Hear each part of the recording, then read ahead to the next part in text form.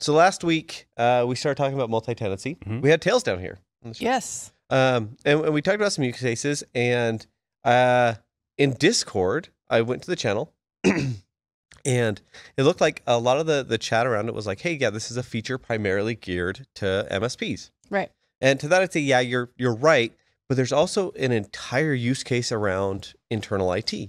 And then I immediately said, "But why would we use this, Josh?" I did, right? You did.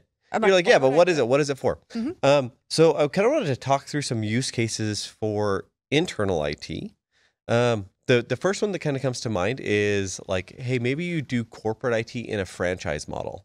Like a parent-child domain. Yeah. Yeah, Mhm. right. Like uh, franchisees come on, you provide IT support, um, and they sometimes they go, or some maybe you work at a university, um, and different colleges have different IT needs Mm-hmm. There's different admins that manage each of those different colleges. Mhm. Um, that's a good case for multi-tenancy, right? Yep. The university can, might have an overarching policy that can be coming from the the parent, hmm uh, but then each college can kind of run with their own subtenant. We had that at the Nevada System of Higher Education. Yeah. Where we had like a parent like IT department that they man- mainly handled like networking stuff for us, but uh, I could totally see that being a use case there. Yeah. Yeah, maybe you've got just separations of concerns within the same organization, right? Mhm. Maybe help desk one does XYZ, help desk two does the other stuff. Yeah. And they shouldn't be able to deploy things to each other's devices. Or maybe it's something simple um, like I want all of my workstations separated from all of my servers because I don't want the tier guy, tier one guys being able to, you know, wreck server side infrastructure. So I went ahead and in our tenant of Banff here, I created three subtenants and I broke them out into the the basics, right? I haven't moved anything yet, but I wanted to show you what it looks like, right? So when I dive in here, um, this is completely separate. This is completely new. Um, the thing that is following down right now, and keep in mind that this is an alpha, is users and permissions, Mhm. right? So even though we're like logically separating stuff out here, um, if I'm a admin in Banff, I'm automatically an admin in all of these subtenants.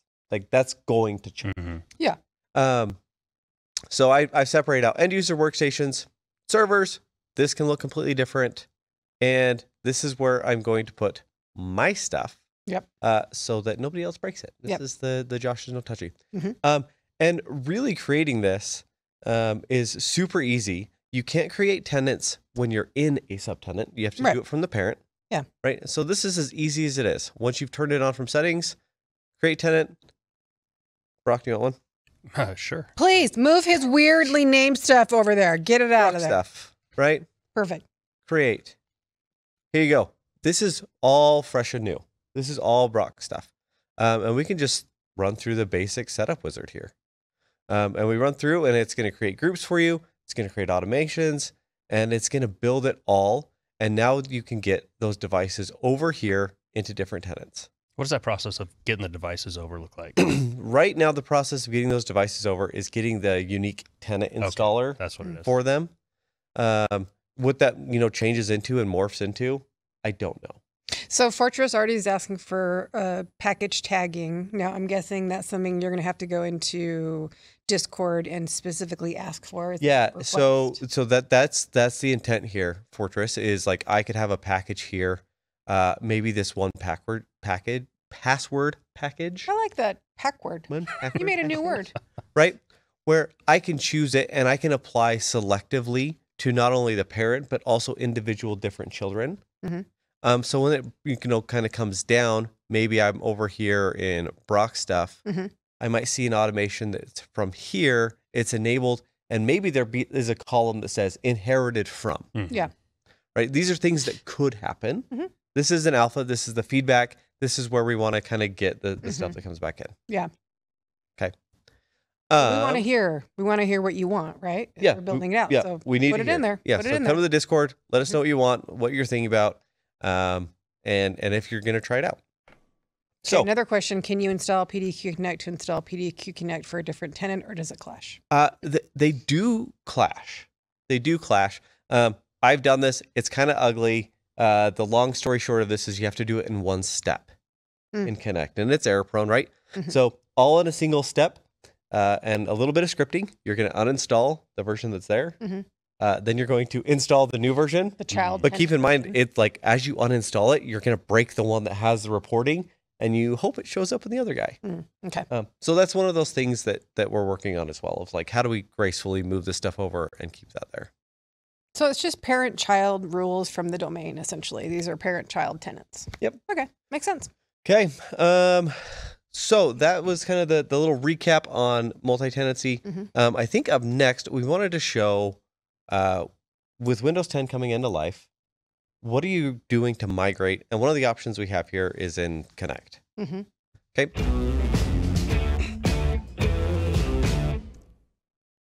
And this was pretty timely because we just got a request on Reddit, I believe. Somebody was struggling pushing the upgrade out with Connect. Something with their script or something. Yeah, yeah, they sure were. Um, so I, I actually went through Discord and I and I saw that one. So I'm going to show two different ways that you can do this in Connect. But I'm going to come out and call this out right out of the gate hmm and say, look, we have a product for this. Oh yeah, so Smart Deploy actually does this really well. In place upgrades to Windows 11, just one button. You just click it. It and is does seriously it. one button in a few minutes and it's, It's, like done. yeah, it's beautiful. This one Yeah. is a little bit harder, but we're going to show how. So this is this script was in Discord, This was right? in and Discord. this was old PS Noob. So uh, Marcel, I believe, give did that. credit. I, I don't remember. Well, Will someone please go find it? Like uh, I should have remembered and wrote it down, but I didn't. But I Andrew probably knows. shamelessly ripped this from the Discord Okay. uh, to highlight here. Um, so uh, what this script is doing is it's basically coming in here and it's going to create a directory. In this case, you know, C Win11 temp.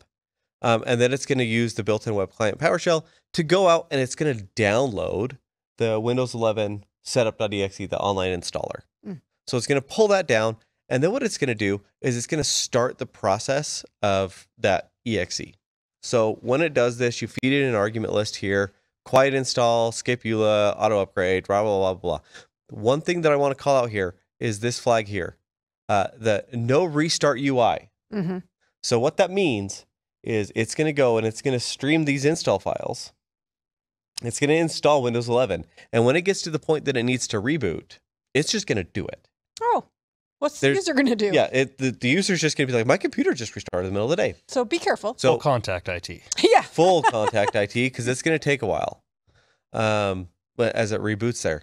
Um, so just keep in mind that this is is going to be kind of heavy, especially bandwidth kind of heavy. Yeah. Mhm. How big is the install? Gig. I think it's like probably to stream like four and a half, five gigs, Okay. something like that. okay. Um, but it's going to do it in the background. Okay. Uh, so this is kind of the, the what I'm calling the online version of the upgrade. Mhm. Both of them are going to require an internet connection, Mhm. but this is the one that needs to maintain a connection. Okay. And this is in place upgrade. So your user files are going to remain where they are. It's just going to upgrade to Windows 11, right? Yeah. Okay. Yep. Just clarify. So everything's going to stay there. Okay. It's going to upgrade. Um, it's going to look like your deployment failed, right? In Connect, Wait, why? it's why? going to call this a failure. Oh, okay. If it's successful, it's going to call it a failure, um, or it's going to say that it actually ran, Hmm. right? Okay.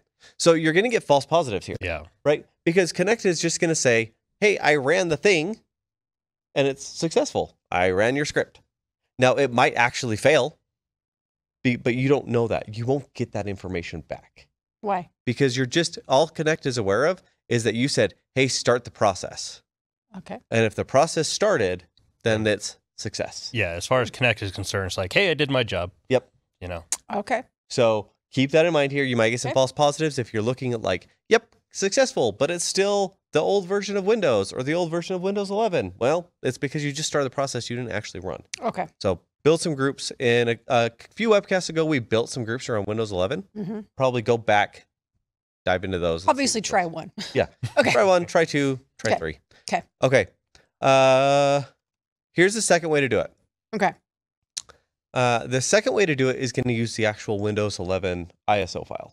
Okay. So instead of going out and pulling the installer down live, uh, we're going to start off first by copying that ISO over to the device Locally. locally. Okay. Save a little bandwidth.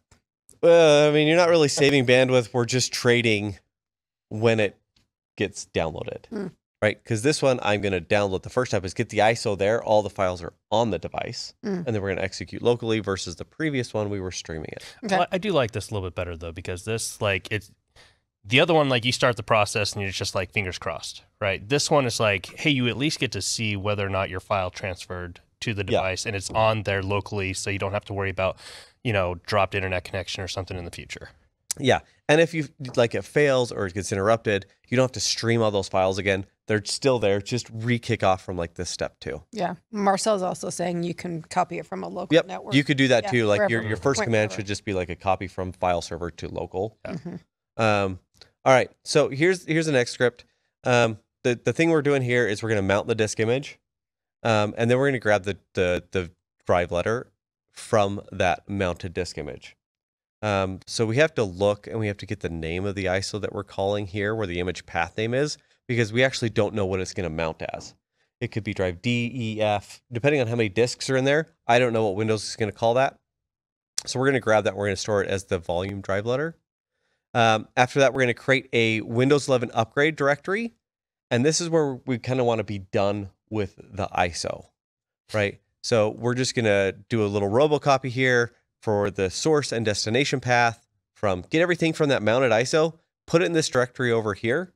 And now I've got the entirety of that ISO local. Mhm. So if anything goes wrong at this point, I have that extracted ISO Mhm. that I can just call. Um, and then just like the previous one, just call that setup.exe with whatever params you want. There is a entire Windows doc on Windows setup.exe and tons of params that are in there uh, that you can pick. Um, in this case, the the change that I did here was I'm going to accept the EULA instead of Mhm. skipping the EULA. Okay. You can you can mess around and do whatever you want there. So are you, I- I'm nervous about it doing it. I'm going to tell the users because I'm I'm nervous. Yeah, yeah. You either tell the users you're going to do this, or this is something that you fire off after hours. oh, Yeah. gotcha. Okay. Right. You fire off it in testing both of these. They both take about the same amount of time. Mhm. Um, it was anywhere from 10 to 15, sometimes 20 minutes, depending on what was there. Okay. Um, you can save yourself a lot of headache by checking to that your devices actually meet the requirements. Oh, the hardware requirements. Yeah. Yeah, the hardware requirements, the disk space The space, yeah, requirements, yeah. target appropriately. Uh, so that you're not getting like these successes of I ran the script, but then your devices ever aren't ever upgrading. Mhm. So targeting is going to be your friend there. And these are kind Love of it. your only options right now because 20 uh, Windows 11 24H2 is a brand new build. Yep. So there is no enablement package to take you from 23H2 to 24H2. Yep. You either have to do the in-place upgrade or a full new image. Yeah. Right. So those are your those are really your only options. I love enablement packages. They're usually very easy, usually very small. Just turn on whatever features that Windows tells it to turn on, and you're good to go. Yeah. But that's not an option. Yeah. Um, and like Chat's saying, like th- these, both of these methods work in uh, Deploy and Inventory. Yeah. Like you just kind of have to do the translation between my connect package and a deploy package, but they're all about the same. Hmm. Okay. Thanks for watching this segment from PDQ Live. If you like this, you'll love the full show. Check it out every Thursday at 10 a.m. Mountain. Oh, and like and subscribe, please.